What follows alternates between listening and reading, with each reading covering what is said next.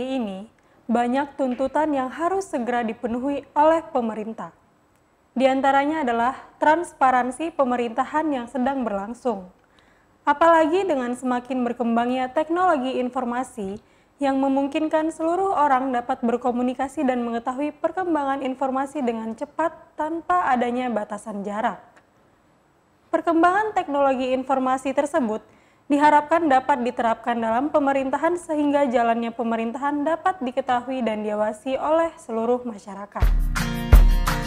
E-government merupakan suatu mekanisme interaksi baru antara pemerintah dengan masyarakat dan kalangan lain yang berkepentingan dengan melibatkan penggunaan teknologi informasi terutama internet dengan tujuan memperbaiki mutu kualitas pelayanan Tujuannya untuk meningkatkan kualitas layanan publik secara efisien, efektif, dan interaktif, di mana pada intinya e-government adalah penggunaan teknologi informasi yang dapat meningkatkan hubungan antara pemerintah dan pihak-pihak lain seperti penduduk, pengusaha, maupun instansi lain.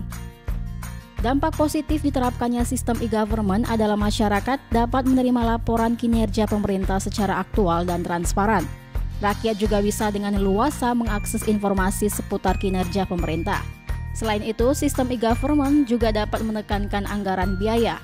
Dengan teknologi online, pekerjaan juga tentunya akan lebih efisien secara biaya dan waktu. Cita-cita good and open government di Indonesia hanya bisa terwujud apabila semua lapisan ikut bekerja. Tak hanya pemerintah yang memfasilitasi lewat e-government dan smart city, namun kita sebagai masyarakat juga harus berpartisipasi bekerja dan berperan aktif mendukung cita-cita ini. Nah, itu dia sekilas cuplikan mengenai e-government. Untuk membahas lebih dalam, kita hadirkan narasumber yang berkompeten. Dia salah satu dosen administrasi negara Universitas Putra Batam, yaitu Bapak Dedi Apriyadi. Halo Pak, ya. bagaimana nih kabarnya Pak? Alhamdulillah baik. Baik ya Pak ya. Kesibukannya apa aja nih Pak? Uh, untuk saat ini masih fokus kepada mengajar di kampus UPP. Oh mengajar nih. Ada kegiatan lain Pak selain mengajar? Untuk saat ini tidak ada. Oke, tidak ada ya Pak ya. Iya.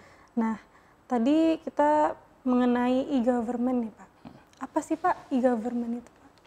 Jadi uh, e-government ini kalau kita berbicara mengenai e-government bahwa itu uh, merupakan uh, aplikasi yang berbasis internet. Hmm. Di dalamnya ada perangkat uh, website yang dikelola oleh pemerintah dalam rangka meningkatkan pelayanan publik. Nah, saat ini Pak, perkembangan e-government di Indonesia itu bagaimana? Nah, untuk perkembangan e-government ini sebatas ini di Indonesia masih dalam tahap proses hmm. karena uh, pemerintah Indonesia hanya memanfaatkan teknologi informasi melalui website kemudian email sehingga interaksi antara antara masyarakat dengan pemerintah timbul umpan balik melalui jejaring internet. Hmm. Ya. Selain itu ada lagi nggak?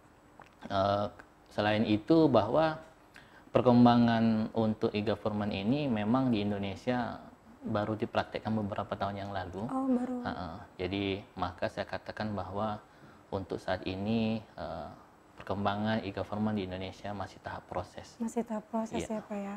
Nah, bagaimana sih Pak fungsi e-government dalam meningkatkan public service itu Pak? Iya, okay.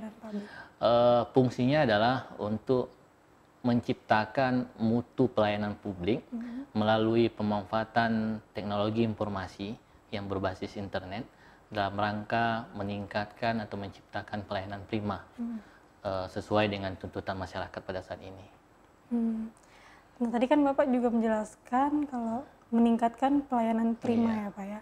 Nah apakah saat ini nih yang Bapak rasakan ini sudah mengarah ke sana belum Pak? Oke, kalau untuk mengarah ke sana untuk saat ini belum. Belum. Ya. Cuma pemerintah masih berupaya untuk memberikan uh, pelayanan yang terbaik, mm -hmm. kemudian meningkatkan kinerjanya mm -hmm. sesuai dengan tuntutan masyarakat pada saat ini. Oh, berarti sedang berjalan ya, iya. Ya.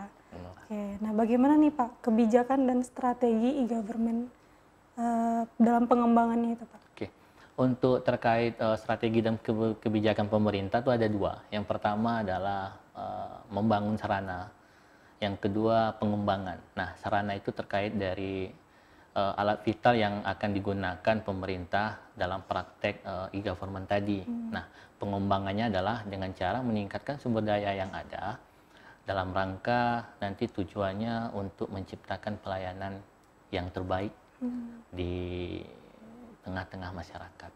Bagaimana pengembangan aplikasi e-government di Indonesia? Nah, pengembangan aplikasi tadi ada dua. Yang pertama itu adalah uh, membangun sarana, hmm. sarana e-government. Yang kedua itu mengembangkan. Nah, membangun sarana e-government ini terkait dengan program-program pemerintah yang kemudian diaplikasikan di tengah-tengah masyarakat, hmm.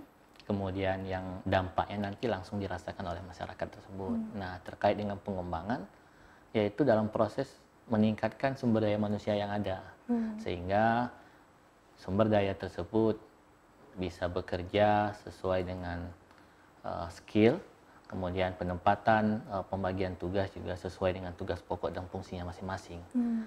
Gitu. Nah, contoh dari sarananya itu apa sih Pak yang udah okay. diberikan? Untuk contoh sarana itu seperti pembuatan situs pelayanan publik. Hmm. Yang kedua adalah pembuatan situs untuk pengajuan online. Nah, hmm. sekarang kan kita lihat ada beberapa uh, kantor atau dinas uh, instansi pemerintahan yang membuat uh, situs pelayanan publik seperti mungkin di kantor imigrasi. Hmm. Kalau dahulu kita lihat tidak tidak hanya uh, harus mendaftar langsung ke kantor imigrasi. Nah, kalau sekarang sudah bisa daftar Online terlebih ya, dahulu, ya? uh, hmm. kemudian melengkapi persyaratannya, barulah kita untuk uh, datang ke kantor uh, memenuhi persyaratan okay. yang lain gitu. Biasanya kan e-government itu kayak pelayanan pemerintah gitu ya, Pak, -hmm. elektronik iya, pemerintah. Iya, Itu kalau misalnya masyarakat kita ingin berkomunikasi dengan -hmm. pemerintah itu bagaimana itu? Nah, jadi masing-masing instansi sekarang uh, sudah menyiapkan beberapa website. Mm. Nah, dari website itu maka masyarakat bisa memilih. Nah, sekiranya mau melakukan atau membuat proses ke mana dulu nih? Oh, mm. kalau kakak, kakak kalau seandainya ingin membuat uh, proses pembuatan ektp, berarti masyarakat harus mendatangi kantor Dukcapil. Mm. Nah, kalau masyarakat ingin membuat paspor, berarti masyarakat harus mendatangi kantor imigrasi. imigrasi. Nah, melalui apa proses transaksi administrasinya? Hmm. Melalui e-government tadi. Nah, sekarang bisa diakses oleh masyarakat secara transparansi. Secara transparan, ya. Oke. Apakah ada hambatannya? Untuk hambatan mungkin uh, ada hmm. terkait uh, ada sebagian dari masyarakat kita yang tidak mengikuti perkembangan teknologi.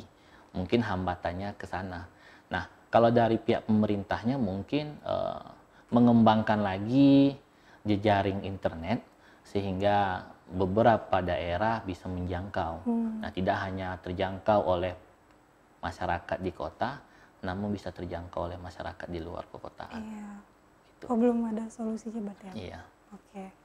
Nah, bagaimana nih Pak meminimalisir praktek maladministrasi melalui pemberian pelayanan publik melalui e-government? Nah, kalau untuk meminimalisirkan uh, malpraktek itu ada yang namanya e-service. Hmm. Ya, e-service itu uh, pelaksanaan dari administrasi hmm. secara internet. Jadi masyarakat dengan uh, masyarakat dengan penggerak pelayan tidak langsung bertatap muka. Jadi melalui website bisa, hmm. kemudian melalui email bisa, sehingga tidak terjadi uh, apa namanya, tidak terjadi konteks uh, negosiasi. Jadi maksudnya gini, jadi masyarakat langsung uh, melaksanakan proses administrasi hmm. tanpa harus bertatap muka dengan uh, si pemberi pelayanan sehingga malpraktek bisa diatasi. Jadi hmm. tidak langsung masyarakat menemui langsung si pejabat hmm. uh, birokrasi yang melayankan yang melayani pelanggan. Oh begitu ya. Iya. ya. Oke. Nah pemirsa, setelah ini kita akan lanjut lagi. Jangan ke mana-mana, tetap di Pradika.